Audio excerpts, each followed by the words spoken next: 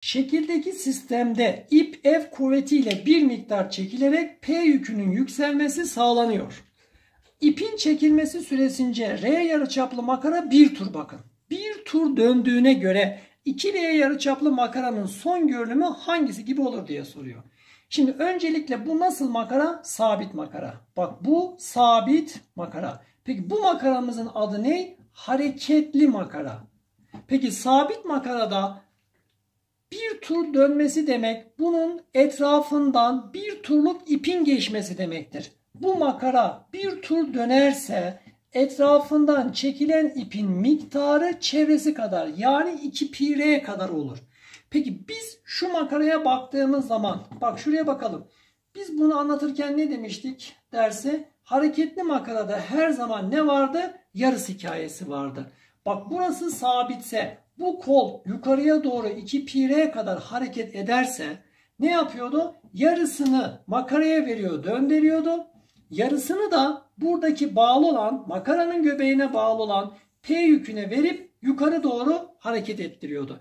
Peki bu şekilde makaramız ok yönünde R yarıçı bak 2R yarıçaplı makara ok yönünde kaç tur atacak ne kadar dönecekmiş pi r kadar. Peki şimdi geliyoruz.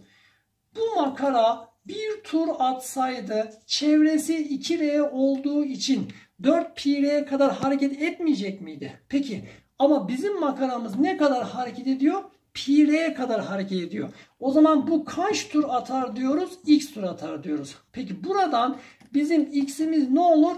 1 bölü 4 tur olur. Yine biz bu konuyu anlatırken 1 bölü 4'ü şöyle yorumlamıştık. Demiştik ki buradaki 4 neydi? Bölme sayısı.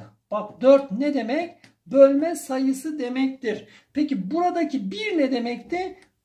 ilerleme miktarı yani her bir bölmenin ilerleme miktarı demekti. Peki biz şunu aldık. Bakın şöyle çizdik. Buralara numara verelim. Bak bizim taralı olan kısmımız burası. Buna biz 1 diyelim. Buna 2 diyelim. Buna 3, buna 4 diyelim. Peki bu tarafa doğru ne kadar dönecekmiş? Pi kadar. Ya da kaç tur atacakmış? 1 bölü 1 tur kadar. Yani 1 bölü 4 tur atacakmış. Yani bu tarafa doğru bir bölme ilerleyecekmiş. Bir bölme ilerlerse o zaman taralı kısım nereye gelir? Buraya gelir. Demek ki bunun bu tarafa doğru 1 bölü 4 olması demek 4 tane bölmede her bir bölmenin bir tane ilerlemesi demektir. Taralı kısım buraya gelir. O halde doğru cevap D'dir.